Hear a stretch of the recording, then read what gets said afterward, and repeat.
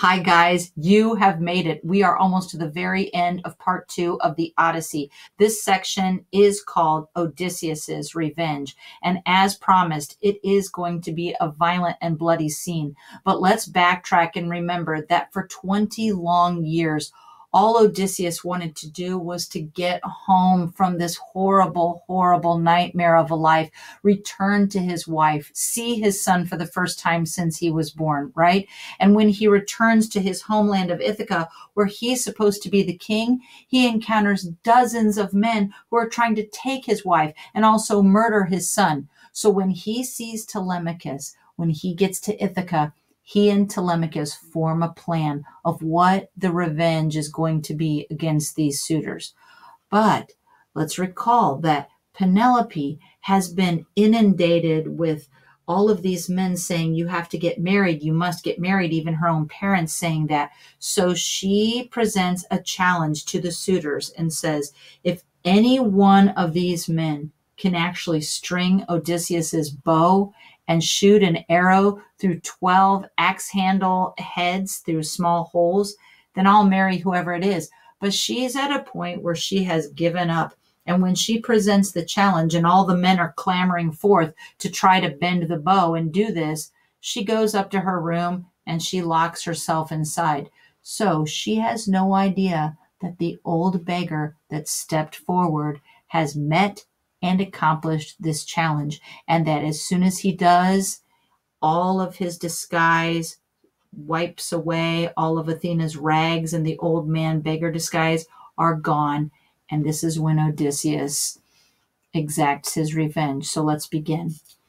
Now, shrugging off his rags, the wiliest fighter of the islands leapt and stood on the broad door sill, his own bow in his hand. He poured out of his at his feet a rain of arrows from the quiver, and he spoke to the crowd.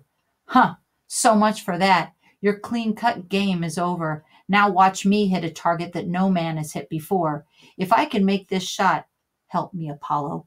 And he drew to his fist the cruel head of an arrow for Antinous. And just as the young man leaned to lift his beautiful drinking cup, the wine was even at his lips. And did he even dream of his death? Psh, no. How could he? In that revelry among his throng of friends, they're all laughing and partying, right? Who could imagine that a single foe, and though a strong foe indeed, could dare to bring death's pain on him and darkness on his eyes? Oh no, he's much too vain and confident. He doesn't think he's about to die.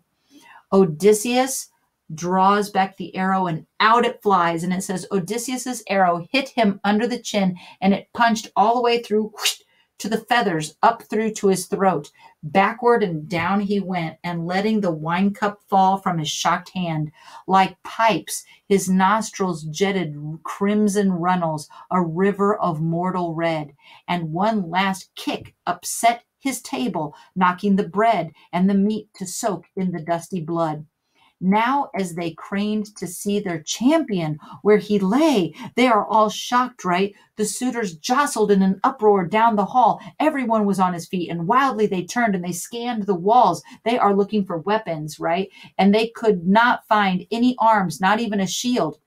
Not a good ashen spear was there for a man to take and throw. All they could do was yell in outrage at Odysseus, and they screamed to him, Foul to shoot a man. That was your last shot. Your own throat is going to be slit for this. Our finest lad is down, they're saying about Antinous. You killed the best on Ithaca.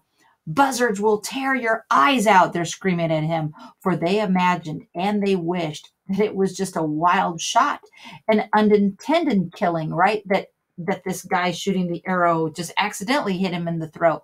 Fools, not to comprehend that they were already in the grip of death. But glaring under his brows, Odysseus answered, You yellow dogs, you thought I'd never make it home from the land of Troy. You took my house to plunder. You dared bid for my wife while I was still alive. Contempt was all you had for the gods who rule wide heaven, contempt for what men say to of you hereafter. Your last hour has come. You die in blood. And as they all took this in, sickly green fear pulled at their entrails. They are beginning to realize who this is and what is happening. And their eyes flickered, looking for some hatch or some doorway where they could escape, right? Eurymachus alone could speak and says, he said, if you're Odysseus of Ithaca, come back. All that you say these men have done is, is true. Rash actions, many here, more even in the countryside. But here he lies, the man who caused this all. So he's trying to push all this off on Antinous, but that's not so, right? And he says, Antinous was the ringleader. He whipped us on to do these things, and he cared less for a marriage than for the power Cronion has denied him as the king of Ithaca. And for that, he tried to trap your son and would have had would have killed him. He's dead now, and he's had his portion, but spare your own people. As for ourselves, we'll make restitution of wine and meat consumed. So we'll pay you back, is what he's saying. We will pay you back. And and we will add each one a tithe of 20 oxen. So not only are we going to pay you back for what we took, but 20 more oxen apiece with gifts of bronze and of gold to warm your heart. Oh, please. He says, meanwhile, we can't blame you for your anger. So he's really pleading with Odysseus, hoping Odysseus is going to stay his hand and not kill anyone else. But Odysseus glowered under his black brows and he said, Not for the whole treasure of your fathers, all that you enjoy, your lands, your flocks, or any gold put up by others, would I hold my hand. There will be killing until the score is paid. You forced yourselves upon this house, so fight your way out. Or run for it if you think you'll escape death. I doubt one man of you skins by. And they felt their knees fail and their hearts, but they heard Eurymachus for the last time rallying them. And Eurymachus says, Friends, he said, the man is implacable. That means you cannot calm him down. Now that he's got his hands on bow and quiver, he'll shoot from the big doorstone there until he kills us to the last man. Fight, I say. Let's remember the joy of it. Swords out. Hold up your tables to deflect his arrows. After me, everyone. Rush him where he stands. If we can budge him from the door, if we can pass into the town, we'll call out for men to chase him. And this fellow with his bow will shoot no more. And then he drew his own sword as he spoke, a broadsword of fine bronze, honed, it says, like a razor on either edge.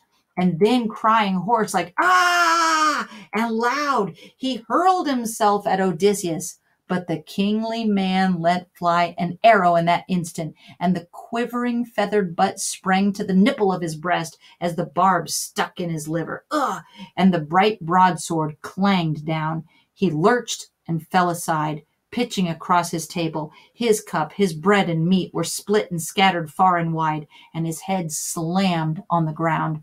Revulsion, anguish in his heart, with both feet kicking out, he downed his chair while the shrouding wave of mist closed on his eyes. So that was a very gruesome way to die.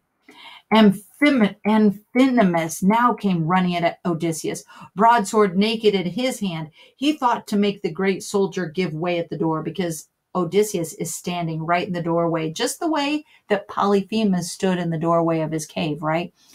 And it says, but with a spear throw from behind, Telemachus hit him between the shoulders, and the lance head drove clear, clear through his chest. His feet, his left he left his feet. In other words, he flew and he fell forward, thudding forehead against the ground. Telemachus swerved around him, leaving the long dark spear planted in Amphinomus. If he paused to yank it out, someone might jump him from behind or cut him down with a sword.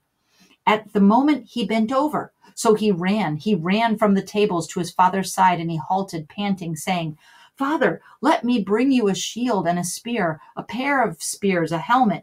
I can arm on the run myself. I'll give outfits to Eumaeus and this cowherd. Better to have some equipment. And said Odysseus, Run then, while I hold them off with arrows, as long as the arrows last. When all are gone, if I'm alone, they can dislodge me. So quick upon his father's word, Telemachus ran to the room where spears and the armor lay. Remember, he had hidden them there. He caught up four light shields, four pairs of spears, four helms of war, high plumed with flowing manes, and he ran back, loaded down to his father's side. He was the first to put a helmet on and slide his bare arm in a buckler strap. The servants armed themselves, and all three took their stand beside the master of battle. And here is a scene where you can see the fighting and the men on the ground. While he had arrows, he aimed and he shot, and he, every shot brought down one of his huddling enemies. But when all the barbs had flown from the bowman's fist, he leaned his bow in the bright entryway beside the door and armed a four ply shield hard on his shoulder and a crested helm, horse tailed, nodding stormy upon his head. And then he took his tough and bronze shod spears. And this is where we kind of cut out part of the battle. And it says, aided by Athena now, Odysseus, Telemachus, Eumaeus, and another faithful herdsman all kill the suitors. They all take, they wipe every one of them out. And Odysseus looked around, narrow eyed, so he's kind of looking at all of these dead, for any others who had lain hidden while death's black fury passed. In blood and dust, he saw that the crowd had all fallen, many and many slain. Here is an epic simile. Guys, we are going to be comparing the dead on the ground who are twitching and dying to fish that you might bring up from a net and you pour them out and they can't breathe, right? And they're flopping around dying. So it says, Think of a catch that fishermen haul in to a half moon bay in a fine meshed net from the white caps of the sea. How all are poured out on the sand in throes for the salt sea. So they're all like flopping around, right? Trying to breathe, their mouths moving twitching their cold lives away in Helios's fiery air. So, that means this is the comparison, so lay the suitors heaped on one another. So that is a very disgusting end. You're imagining that the suitors are all laying there gasping for breath and maybe the blood coming out of their mouths, gurgling, and they cannot breathe. That is the next to the last section of the Odyssey. That was Odysseus's revenge on the suitors.